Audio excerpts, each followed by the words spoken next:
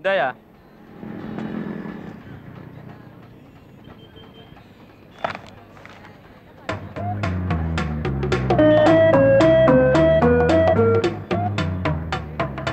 அடிச்சிட்டாடா. மாப்பிள எப்படி என்ன சொல்றது வைடா? டேய் அங்க பாருங்கடா. கொஞ்ச நாளாவே இந்த கூத்து நடக்குது. என்னன்னு தெரியல. ஒரே மர்மமா இருக்கு. இதை நீ கண்டுபிடிச்சே ஆகணும்டா. ஆமா அண்ணே விடக்கூடாதுடா. அண்ணா பெரியசாமி கிளம்புறானே வாங்கடா அப்புறம்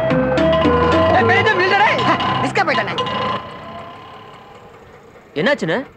வைத்தி கொஞ்ச நாளாவே இந்த பெரியசாமி சரியில்லை. ஏதோ தப்பு நடக்குது. டெய்லி இவன் ஆட்டோல வந்து ஒருத்தன் பார்சல் வைக்கிறான். அதை எடுத்துட்டு அவன் எங்கேயோ கொண்டு போறான்.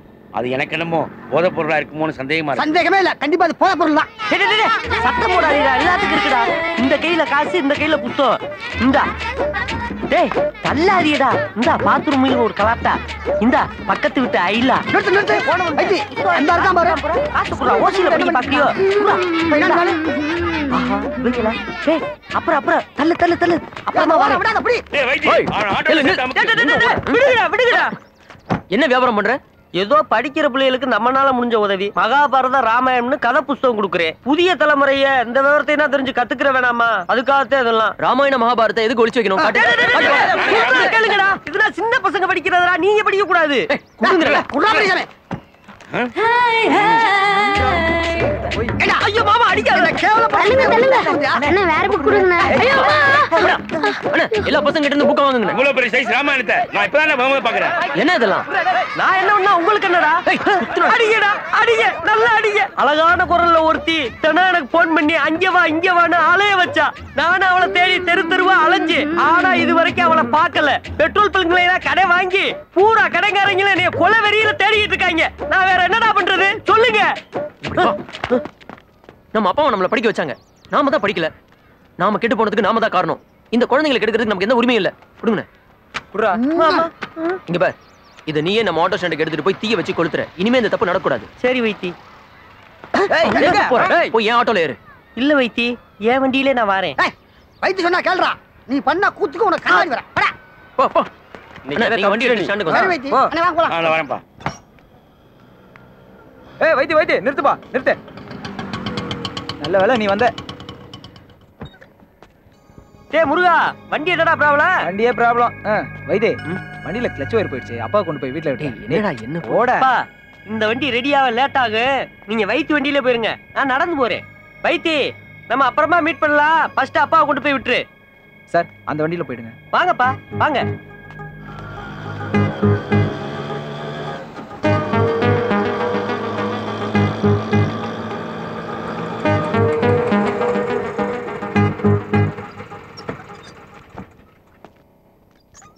நீ இங்கே சாமி கண்ணன் வந்து காத்துட்டு இருக்காரு இரு வந்துடுறேன் சரி அருணாச்சலம்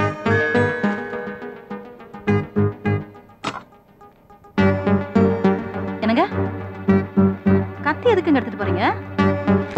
கேக்குறேன்ல. கத்தி எதுக்குங்க?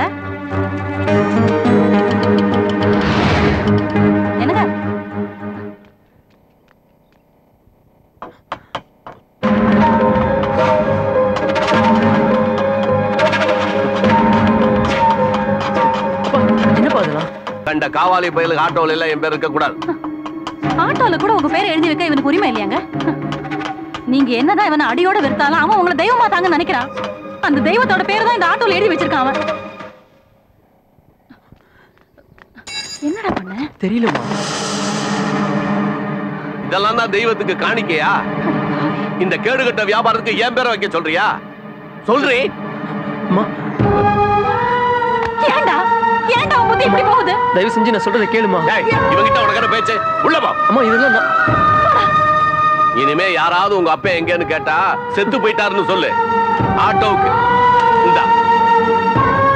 உள்ள வாசாங்க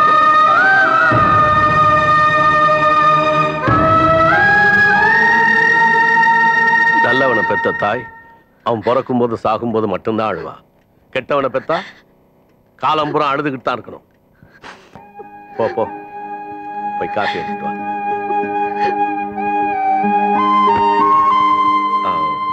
பயிரோட சேர்ந்து தான் தேவையில்லாத களையும் வளருது. நாம என்ன பண்ண முடியும்? அதை விடு. வந்த விஷயத்த சொல்லு.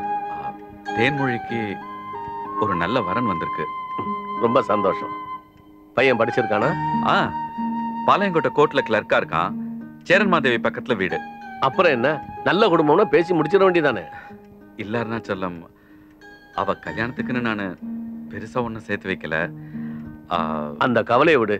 தேன்மொழி என் பொண்ணு தான் அவளுக்கு என்னென்ன செய்யணுமோ எல்லாத்தையும் நான் பாத்துக்கிறேன் முதல்ல நீ நிச்சயதார்த்தத்துக்கு ஏற்பாடு பண்ணு.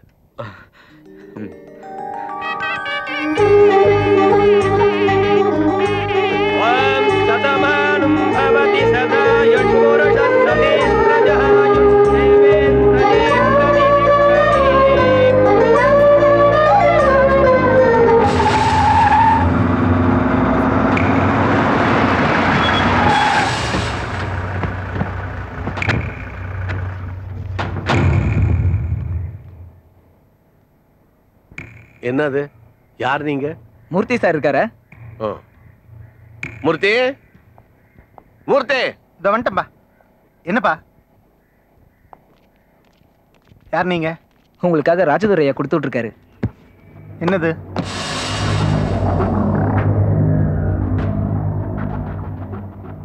கெஞ்சனா மிஞ்சறதும் மிஞ்சனா கெஞ்சறதும் உங்க ராஜதுரைக்கு வேணா பழக்கமா இருக்கலாம். ஆனா நான் எப்பவும் ஒரே மாதிரி.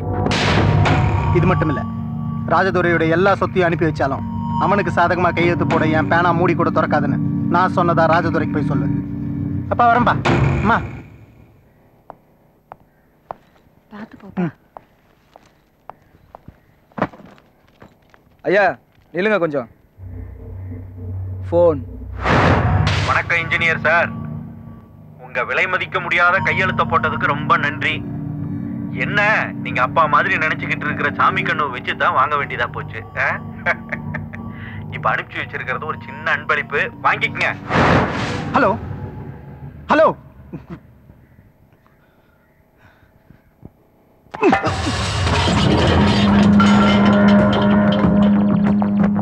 சாமிக்கண்ணு சாமிக்கண்ணு எங்கடி உங்க அப்பா? எதுக்கு? எதுக்கு கேக்குறீங்க? எதுக்கு? எனக்கு துரோகம் பண்ணிட்டு வீட்டுக்குள்ள ஒழிஞ்சிட்டு இருக்கானே? எங்கடி? முதல்ல என்ன விஷயம்னு சொல்லுங்க. அவனை பார்த்த இடத்துலயே கண்டம் துண்டமா கண்டம் துண்டமா விட்ட போறேன். இல்ல நான் விட மாட்டேன். டேய் தள்ளுறி விட மாட்டேன். டேய் சாமி கண்ணு. டேய் டேய். தம்பி என்ன விட என் கையெழுத்து. ரொம்ப நல்லா போடுவல்ல நீ தம்பி அந்த கையெழுத்துடைய மதிப்பு என்னன்னு தெரியுமாடா உனக்கு நான் நான் இத்தனை வருஷமா என் கைய கரப்படாம காப்பாத்திக்கிட்டு வந்தனே அந்த நம்பிக்கையில நீ. இல்ல தம்பி இல்ல. அப்பனோட உன்னை பெருசா மதிச்சுட்டேன் இப்படி என்ன விலை பேசி வித்ததை விட ஒரேடியா சாகடிச்சிட்டு இருக்கலாம். நான் சொல்றத கேளு தம்பி. ஏய், அதிகமா பணம் கிடைச்சா இந்த மாமா பையன் உன கூட என் கையெழுத்து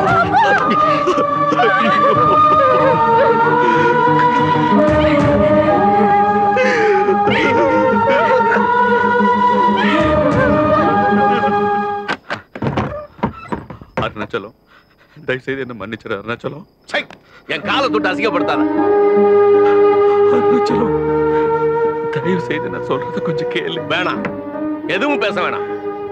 எனக்கு கொடுக்கிற மரியாதையை உனக்கும் கொடுத்து உன்னை ஒரு அப்பா மாதிரி நடத்தினான் உன் மேல மலையளவு நம்பிக்கை வச்சான். இவனுக்கு துரோகம் பண்ண நீ இருந்தா என்ன செத்தா என்ன? போடா போ. மறுபடியும் முன்னால வந்து நிக்காத. எங்கேயாவது போய் தொலை. செத்து தொலை. நடிக்காத நடிக்காத. இந்த நீலி கண்ணீர் எல்லாம் பார்த்து நான் ஏமாறாம இல்ல கோர்ட்ல சந்திக்கலாம்.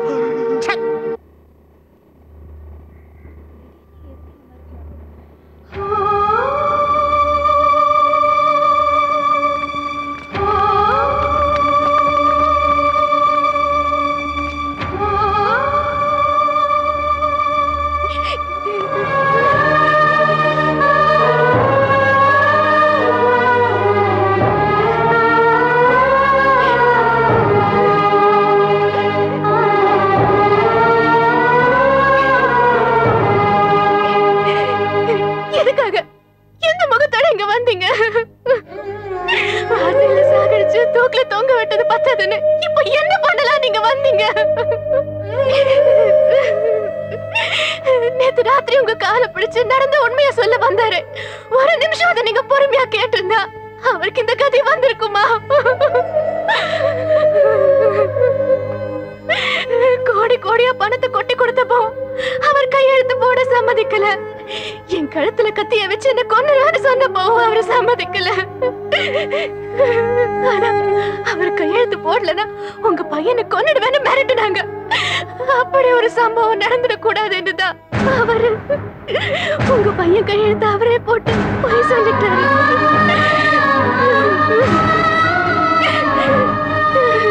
இந்த உலகத்துல என்ன விட எங்க அப்பா அதிகமா நேசிக்கிறதும் மதிக்கிறதும் உங்க பையனதான் அத புரிஞ்சுக்காம எங்க அப்பாவை கொண்டுட்டுங்களே